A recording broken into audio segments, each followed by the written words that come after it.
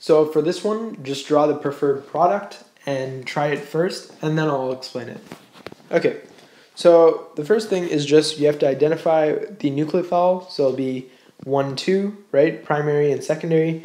And then for this compound, what will end up happening is the, um, you'll have a syn addition, right? So that just means the same stereochemistry.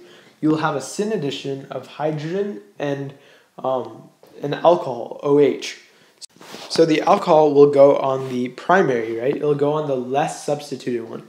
So it'll form an alkene, and after the substitution, you, or the uh, syn addition, you'll have the hydrogen right here on the secondary and the alcohol on the primary. Now, the important thing to remember about these reactions is that whenever you have a double bond next to a alcohol, what will end up happening is this resonance. So the the double bond will actually go to the oxygen and then form this, right? It'll form a aldehyde. So it'll, it will resonate over here, and this is actually more stable than this, as indicated by the equilibrium. So this is more stable, and so this will actually be your end product. So just remember that uh, whenever you have this reagent, an alcohol will form on the primary, and then you have a hydrogen form on the secondary. That'll be a syn addition. Then after that, um, you have this resonance, so the double bond will go to the oxygen.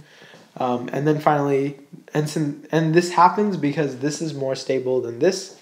And finally, this will be your final product. And I hope that helped, and thanks for watching.